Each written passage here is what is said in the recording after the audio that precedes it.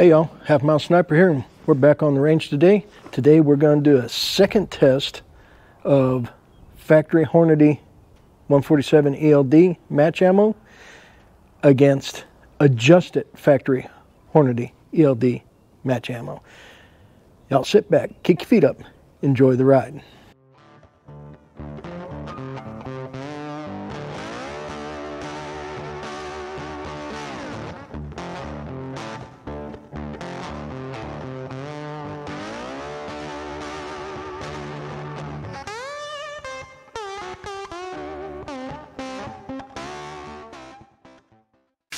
Alrighty, y'all.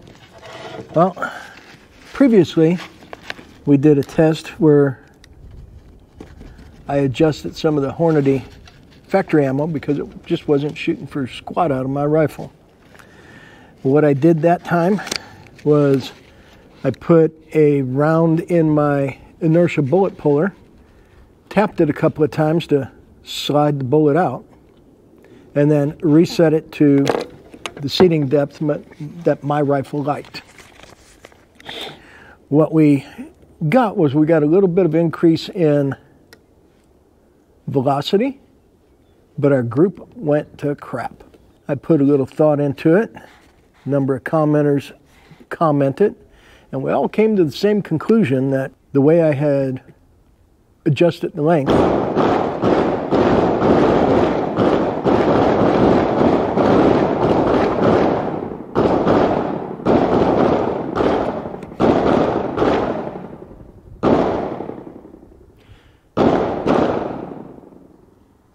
had affected the neck tension.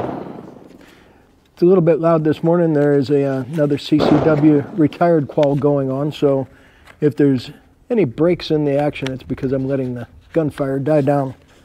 So what I did this time is I actually randomly took five rounds out of this box and I pulled them. First thing I did was I measured the overall length from the ogive to the base. Now, my length that this rifle seems to like is 2.3805 to 2.381. First round came in at 2.327, second one at 2.325, third one at 2.323, fourth one at 2.322, and the fifth one at 2.325. So their overall length was all over the map. And then I put them in my inertia bullet puller and I knocked I knocked the uh, the round all the way out and I measured the charge weights. The first round charge was 59.6. Second charge was 60.2. Third charge was 59.9. Fourth charge was 59.6, and the fifth charge was 60.3. So while I had the charges in the scale getting weighed, I then took the brass to my reloading press and I neck sized the brass to bring it back down to proper neck tension. Then once the neck tension was reset, I put the charges back in the case then I weighed the bullets. Now these were supposed to be 147 grain bullets, and when I when I get a box of 100 projectiles, I I weigh them, and the majority of them come in at 147.0 to 147.1. The light ones 146.9. But out of the five that I pulled, first one was 146.7, second one 146.8, Third one was 146.7, fourth one was 146.8, and the fifth one was 147.1. Now, that in and of itself shouldn't make a whole bunch of difference. The powder charges being all over the map, that can. So what we did, like I said, reset the neck tension, put the charges back in the original case, and then reseated the bullets to 2.381 ogive to base, which the, the OAL works out to like 2.999, just shy of three inches. Uh, thing I noticed about the powder, the powder appears to be Sta-Ball HD. Now I say appears because I'm not doing a uh, lab analysis of it, but it looks very much like the Sta-Ball HD that I have. So we'll see if properly setting the ten neck tension and adjusting the OAL gives us any improvement over gives us any improvement over the way we did it last time. We will shoot five unadulterated factory rounds on the left dot. We'll shoot the five adjusted rounds on the right dot. We'll see what happens. And then we might possibly have a third go of adjusting the ammo where I will dump all the powder into one pile and make five identical charges. But that's for another day. Today we're just going to shoot this.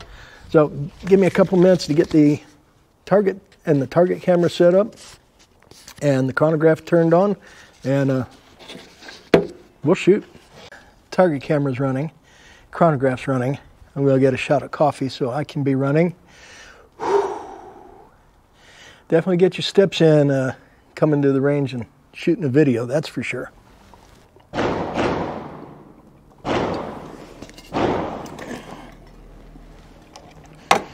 So, first off, um, let's see, let me get five of the factory. Okay, we'll be shooting a five round group with stock factory. We're going to be shooting that on the left hand dot.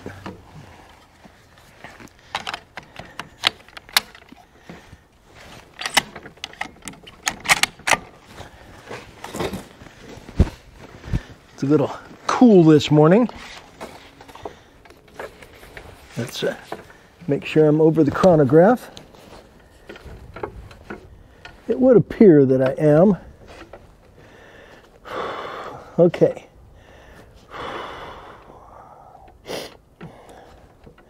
Factory Hornady 147 match. Five shot group. Here we go.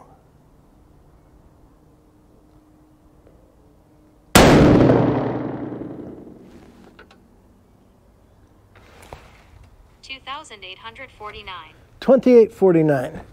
I think the chronograph may have gone to sleep. It took me so long to uh, get shooting. 2849. Interesting.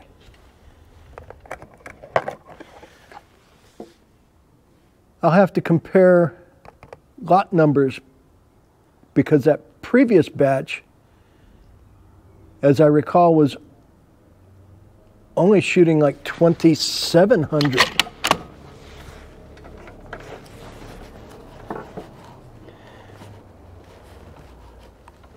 Okay, continuing on.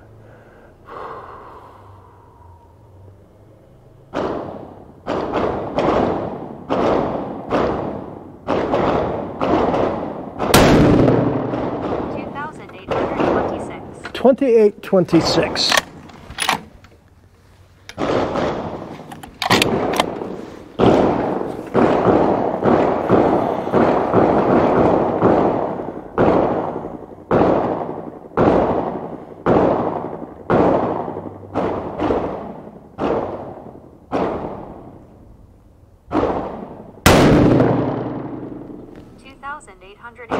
2880.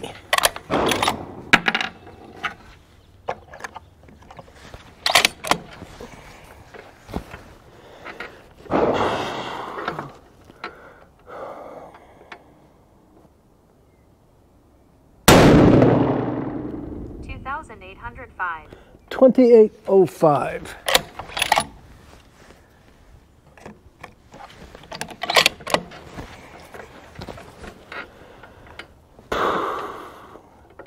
Okay, last shot with the unadulterated factory ammo.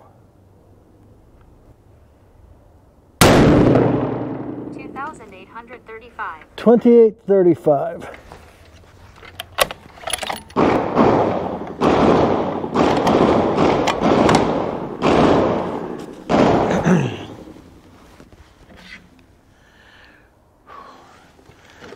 Our five shot average is 2839. Our extreme spread is 75 and our standard deviation is 25.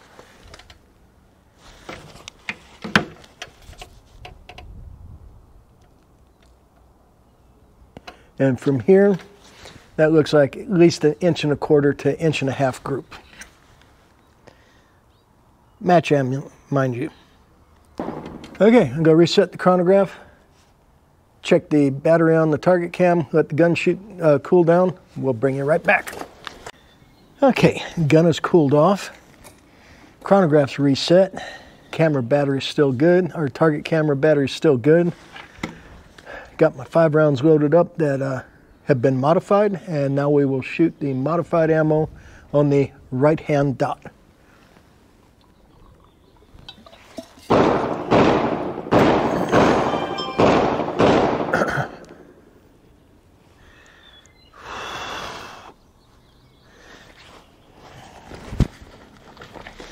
This uh, this rainstorm, it's getting colder, is I believe the southern edge of the big storm that's hitting uh, up in the Sierras, and they're calling for like 10 feet of snow. So it was a pretty wet drive on the way up to the range this morning. Okay. Modified ammo, five shot group, right hand dot. Here we go. I don't expect the velocities to be much different, but I'm hoping for a better group.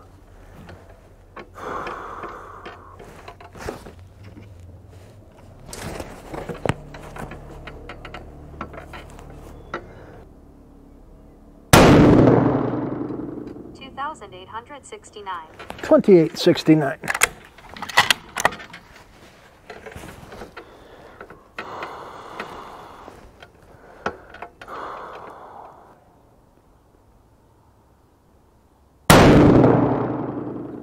Two thousand eight hundred seventy one. Twenty eight seventy one.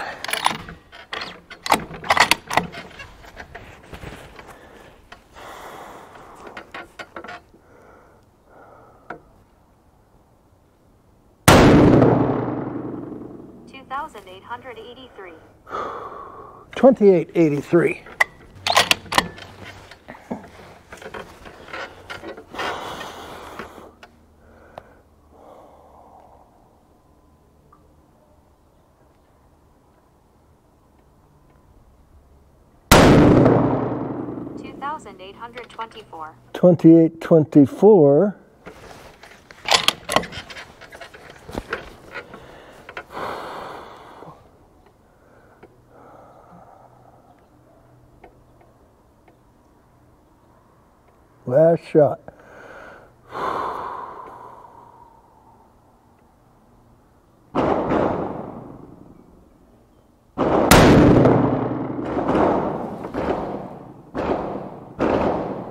Two thousand seven hundred eighty-nine.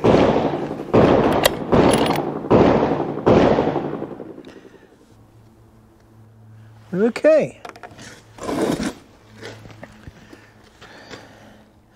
Let's see. So our five shot group gave us 2847, which is a little bit faster than it was before. Our extreme spread was 94 and our standard deviation was 35. Now, the big question is did the group improve?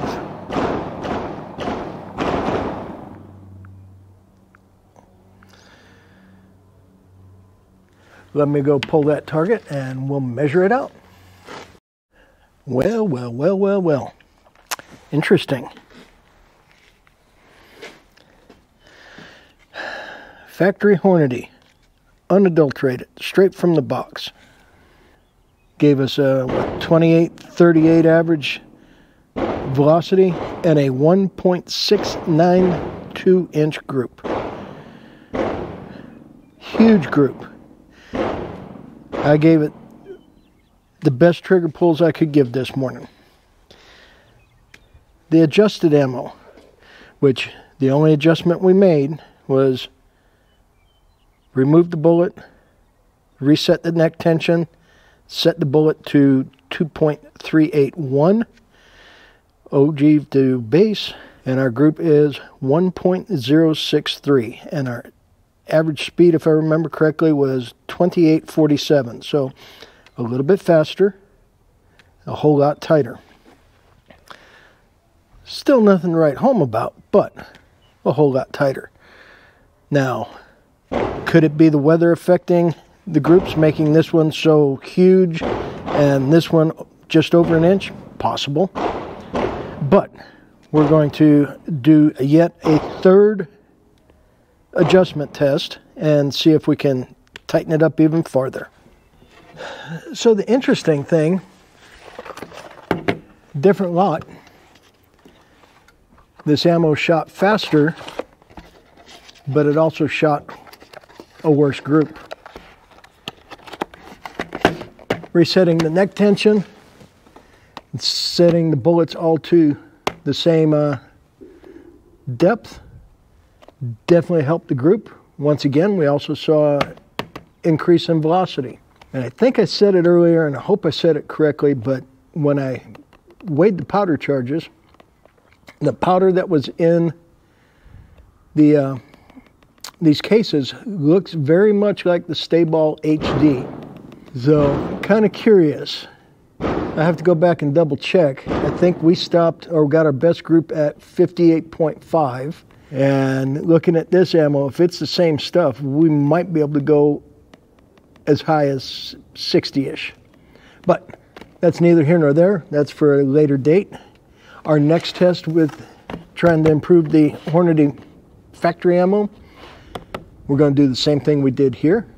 We're going to break the rounds down, reset the neck tension so we can get the bullets all set to the same depth. Two things will be different.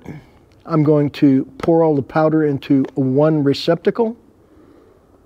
Once it's weighed, get the grand total weight, divide by five, and we're going to make five equal charges. The other thing is, uh, this test puts us at just about 425 rounds, so it is time to clean the bore, scope the bore, and check the throat erosion and see if we need to adjust our seating depth. So our overall length may may change a little bit. It's interesting. I'm glad we were able to tighten that group up a lot. And the thing that really surprises me uh, definitely need the coffee this morning. This is match ammo. And some people have great results with it, but it seems like a lot of people don't. And I can I can tell you, my gun definitely doesn't like it, and y'all have seen it. Sorry, Hornady, but your match ammo in my gun. Broadsides and barns, they don't they don't meet. Alrighty. As always, like my shirt says, stay strapped or get clapped. Carry everywhere you can. Get a CCW if you need one. Come out to the range on a morning like this and get your qual in like all these other people are doing. If you're in a constitutional carry state, no reason not to be carrying but I would suggest getting the CCW anyways because you may travel. Oh, you know, now we got sunshine. I'm sure there's another band of rain coming. Uh, okay, with all that being said, once again, I want to thank y'all for hanging with me. I really do appreciate it. We're uh, closing in on almost 34, 3,450 subscribers. Way more than I ever thought I'd get. Thank you. I really do appreciate that. So until next time, next time we'll be taking a look in the in the bore here. But until next time, y'all stay safe, keep shooting. We'll catch you next time.